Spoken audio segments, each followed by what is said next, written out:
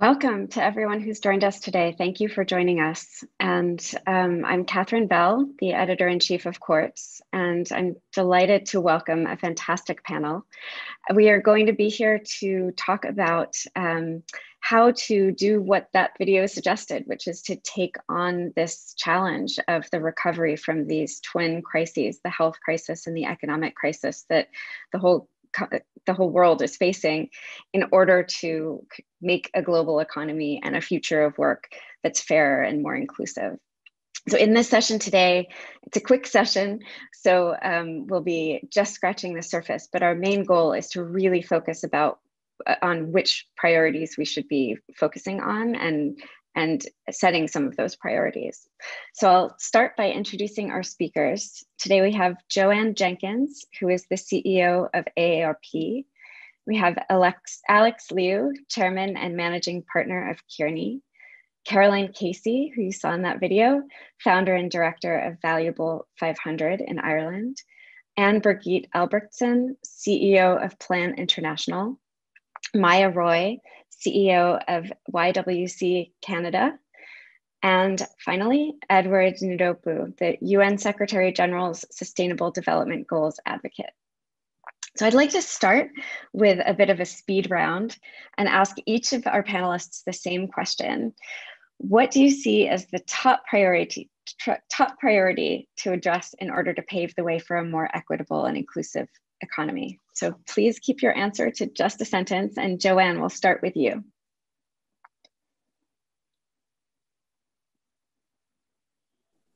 Well, good morning. I think that one of the most important things is for us to really focus on, as you said, that health equality as well as uh, financial uh, equality. And I think that's going to make sure that all of us, regardless of where we live and our and our income levels, that we have an equal opportunity to not only find work and make a living, but also have access to quality health care. Absolutely. That's something we've been talking a lot about in our newsroom that health that health equality is required for financial equality. Alex, let's go to you next. uh, thanks a lot, Katherine. My, my perspective is that leadership needs to actively intervene to create an environment where the workforce feels safe, seen, supported, and actually inspired by what they see unfolding from leadership. Caroline, the best background of the day. yes, well, of course. So for me, is I really believe we need to dismantle the very siloed uh, approach to inclusion that is very destructive and coercive. We need to implicitly build an understanding of our interconnectedness as human beings right across the planet, across society, across industry. And I passionately believe as we move into this transformation stage, we equally use our heads and our hearts, our humanity and our data. They need to be in equal measure. Anne Birgitte, what's your top priority?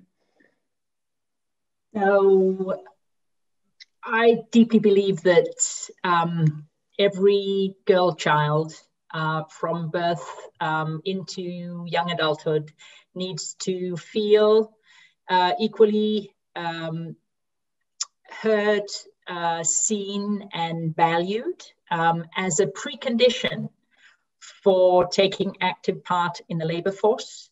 And that at the other end of the spectrum, every person in a position of power in her life, whether as a baby or as a young adult or employee, needs to deeply understand their own power, privilege, and unconscious bias to rid the world of uh, the type of inequality that we see today. Thank you. Maya? Good morning. Morning, Katherine. Um, for I think as leaders right now, we're all being tested. Um, and certainly the decisions we're making today are going to be studied for, for generations to come. For us at YWCA Canada, it's about centering those who are experiencing the most oppression, the most vulnerable, the most marginalized community members, i.e., low income women, people of color, looking at the impacts of the crisis on them and really using the disaggregated data to drive evidence based policymaking. So for us, that's our priority. Edward, let's wrap up this speed round with you. Sure. So I think it's absolutely important that we reimagine the public policy process and ensure that we reach um, those furthest behind the line of opportunity and really center their lived experience in the way that we think about public policy. It's really interesting how so many of you have um, sort of looked at ways to include everybody in some cases starting with one community and moving towards everybody um, and and often that being the the people who are most vulnerable right now there's a lot to say about that so moving on, I'd like to start again with Jo Ann. Um, so this year, especially in the US, um, but around the world, many companies have publicly committed or recommitted to diversifying their workforces and talent pipelines and, and improving inclusion. Um, and AARP established a program to support companies in making their workplaces more inclusive of older workers. Can you talk about what has been most effective about that program to help companies actually um, live up to those promises that they made?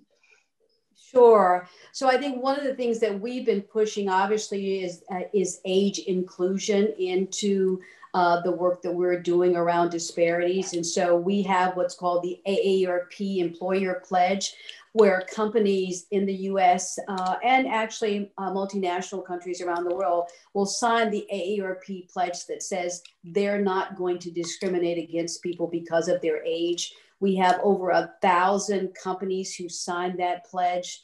And as part of that, uh, they commit to uh, a recruitment process that includes age, uh, age diversity, uh, and I think what COVID has brought to the front uh, forefront is particularly with people working at home, that it's a lot easier for older people to do the work when it doesn't include that commuting and sort of going back and forth. Uh, and I'm, I'm just so excited that uh, all of these over a thousand companies has signed up to be a part of uh, this campaign that shows the value of older worker and what they bring to the workforce. Uh, and particularly at a time when we're going to need so many more people to do the work, particularly in the healthcare areas uh, and in uh, education, where we see so many uh, school systems around the country struggling to do virtual learning and not having enough teachers. And so uh, this uh, AARP employer pledge has really been at the forefront of what we're trying to do at AARP to bring attention to the fact that age diversity also ought to be included in some of the pledges that companies are, are taking uh, to address equity, inclusion, and the social justice issues in the US. That's great. Thank you. Uh, so I'd like to turn to Alex and stick on that same question about, about how work has transformed so suddenly in many cases, um, where, where work can be remote, in many cases it has suddenly become remote, at least temporarily. And so I'd like to talk about the challenges and opportunities for diversity um, and inclusion that that presents. Um, what can you tell us about what you've learned about how organizations can not only help their employees adapt to that new way of working, but take ad advantage of the moment of extreme change to improve diversity and inclusion? Right, no, thanks. And I think there's a, a huge mental aspect to the sense of belonging and engagement and true inclusion. I think we can all agree that even before COVID, there was an absence of things that were going right. Not enough justice, not enough equity, not enough fairness, not enough joy. And I think what the current environment has ex- accentuated, of course, is inequities and people that don't have computers and can't virtually work, et cetera. But the fundamentals are the same, which is people now, especially since, since things are so visibly raw, how do you get people to stay connected? Most diversity is actually hidden, right? 90% of it is, uh, is uh, in your brain. It's how you're coping with mental stress, anxiety. There was an epidemic of that in isolation even before, uh, even before COVID. What I've seen work is using technology to help connect people. Uh, for example, in the racial justice uh, movement in the United States, which is long, you know, long, long uh, overdue. You know, we had our colleagues in South Africa communicate and be allies to our mm-hmm. folks in the United States to be able to say, how do you go from reconciliation, reckoning from a very bad place? Um, we've opened up, and I've seen many companies make it more possible to have courageous conversations. We have a program called This Is Me. This is about mental health, but it could apply to any underrepresented or outsider group to talk about the stories that got to where they are. What is their belief system? What have they experienced? And it opens up the emotional allyship that people need to have in order to feel solidarity and feel included. The other thing is we have to you have to actually, and you can use technology for this too, Katherine, which is ask people, do they feel like there is change and progress? Do they feel included? And you can actually talk about it in your smaller groups within the company or whatever community you're talking about. So honest conversations, allyship, leadership commitment behind all the programs that people need and the pledges that support that in coming from the top. And of course, leaders need to speak too, tell their story. Thank you. Yeah, there, there are two points you made there that I think are so important and often not made. One is that um, that so much of diversity is invisible, and um, people forget that, obviously. And also, I'm so glad you mentioned joy because so often these conversations end with um, a sort of basic level of fairness, which is not enough. And joy is a right, and um, it should be ultimately part of what we're working toward. So, Caroline, many of the companies we're talking about who've committed to improving diversity and inclusion this year have not made a lot of progress since those um, commitments were made and living living up to um, what they said they would do. Um, and obviously, it's difficult to do that. How can stakeholders, both inside the organization and outside the organization, work together to give companies incentives to change and support in those changes? Well, firstly, can I just say, Joy, yes, Alex, hence the, the wallpaper. But I'd say that because it's really important about the openness and the humanity that you as a leader have just expressed. So I want to start with leaders make choices, and those choices create culture. And we are being more human. This is more human. We are more vulnerable than we have ever been the Valuable 500, just to explain where we have this great community to which we engage with, is the first and only global CEO community which is transforming disability inclusion through business leadership and opportunity. We now have 330 companies in this community, and that was in 19 months. And what is really different and how we can change this, it's because it's leaders like Alex who gave his personal commitment to support the integration and the journey for inclusion throughout that business. And combining the power of the leadership, support, and accountability at board level to ensure that the activities or the energy or the ideas or the curiosity or the innovation throughout business is being supported is what has been missing for so long. Leadership exists right throughout the organizations. And what we've seen with the valuable 500 companies that we have is they have been so worried about not doing enough that it has been the barrier for them to try. They have been so concerned that they would never get it right, particularly around disability inclusion. And that's why disability has often been on the sidelines. And they have been so worried that some of the, the ideas or innovations that they would have used for other areas would not be viable. And so for me, I think as we move forward in this transformation, I really urge us to be vulnerable in saying, I don't know, but being accountable in how I can. And we need the leadership to do that. Accountability, collaboration, and that vulnerability piece are essential for all of us and in community. And I believe as we move forward to do that together, we will innovate, learn from our mistakes, but do not cancel each other out because innovation will lead to failure. And if we handle failure well, we can learn and move on. But do not annihilate people, be allies for each other. Absolutely. So, one thing we haven't talked much about is technology. And um, so I'd like to I'd like to turn to Anne Birgitte with a question about that. So as we introduce new technologies into education, which is happening in my apartment and in many other places, um, and into the workplace, how can we ensure that the technology increases equality and inclusion rather than reinforcing existing inequities, which it's doing a lot of right now? Yeah, thanks for that question. I mean, there is no doubt, of course, that technology and particularly access to the internet um, is absolutely crucial in this particular moment, but also in the future and for the future of work. But let me just give a few pieces of data in terms of the, the digital gender gap. So globally, um, only about half of the world's population are actually on the internet. Coupled with that, globally, the internet gender gap is 11, almost 12%. Um, and in least developed countries, it's 31%. So you've got a whopping big part of the global uh, population that don't even have access to the internet still. And we talk about it as such a reality for all of us.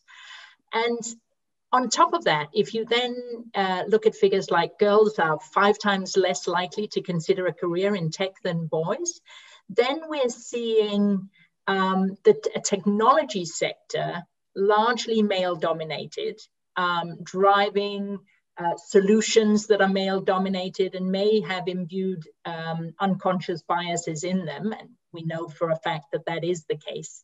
And you've got young women who are then relegated to um, to low growth sectors um, in agriculture and garment industry, other places that are likely to be uh, see job replacement by, by automation. So there's a huge gender gap all across the, the, the work environment.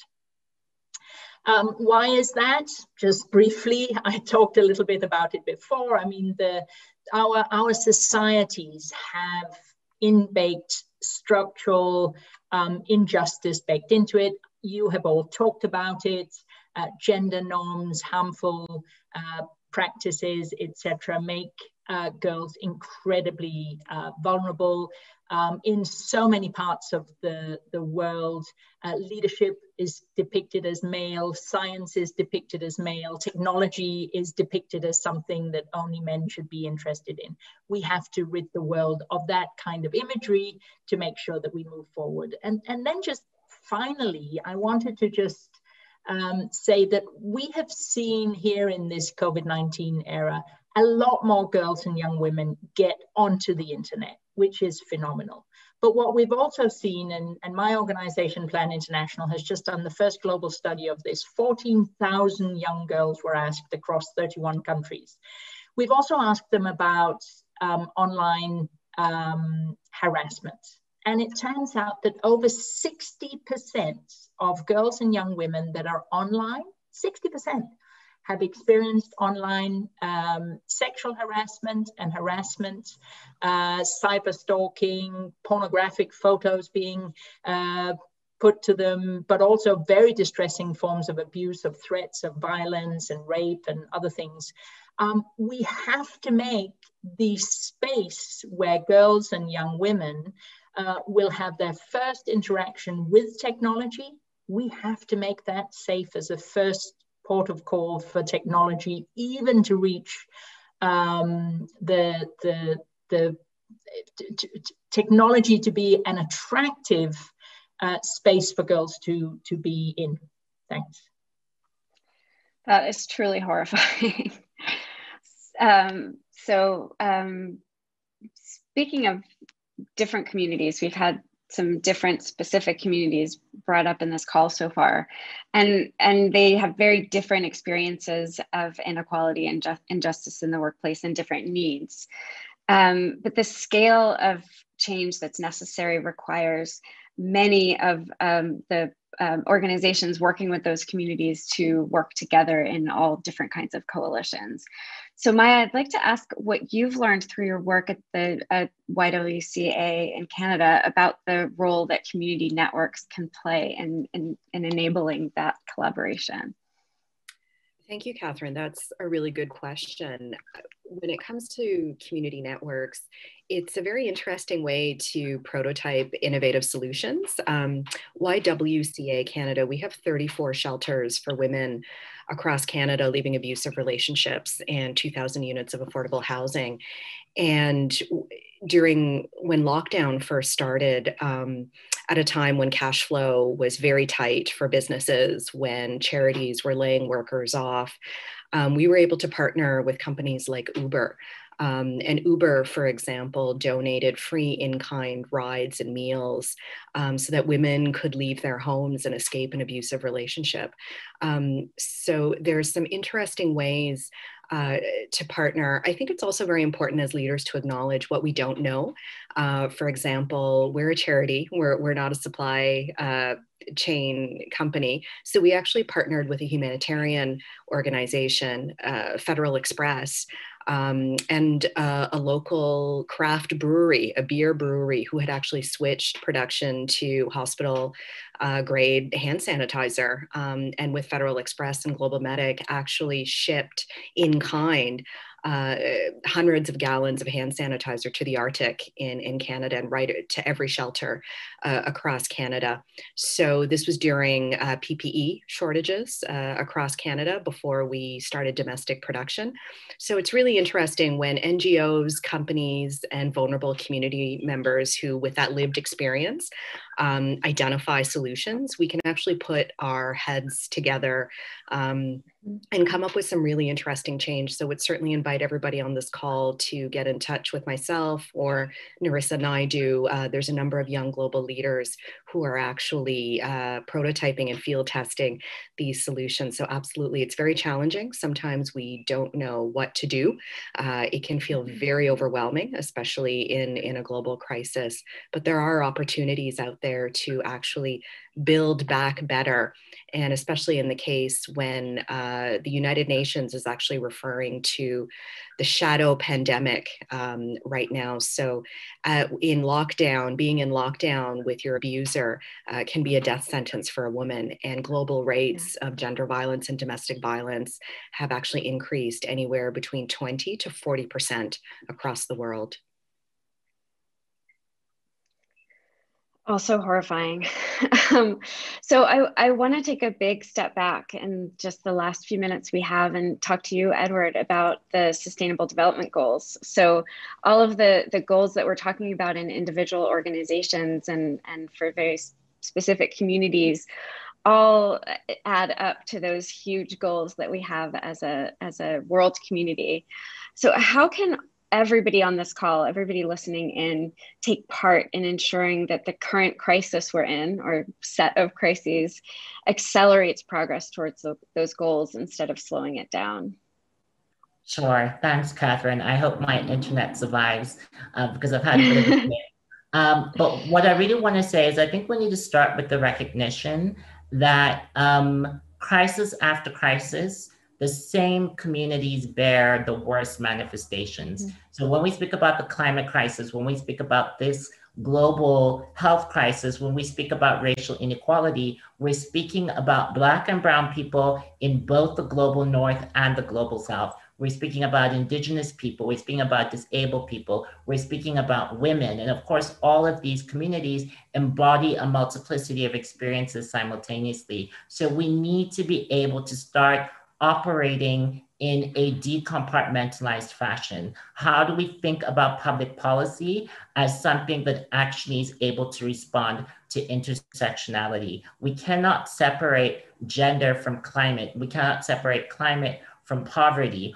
All of these global goals are interconnected. And of course, what sits above the SDGs is the 2030 Agenda for Sustainable Development. It's a comprehensive vision for people and for planet. So I think a profound recognition of the intersectionality, not just of people, but of issues, um, will go mm-hmm. a long way in, in, in helping us uh, meet uh, the SDGs. Um, and I think, uh, uh you know, a, a, big point as well, I think, is we need to start measuring uh, differently Um, you know, just before COVID, people that converged from $1 a day to $3 a day, we counted that as progress. We said the world has made a dent on poverty. And now we see that these people are mm-hmm. unable to withstand the shocks of global crises, both the economic fallout of COVID, but also of COVID itself. How can we be more ambitious in what we measure? And how can we count what is often